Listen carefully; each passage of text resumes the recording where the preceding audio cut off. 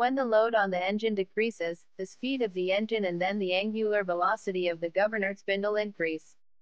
The centripetal force on ball increase, that tends balls move outward and sleeve move upward.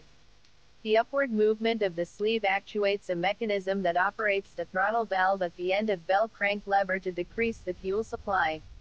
The power output is reduced. When the speed of the engine decreases as the load on the engine increase, the centrifugal force decreases. The result is that the inward movement fly balls and downward movement of the sleeve. The movement causes a wide opening of the throttle valve.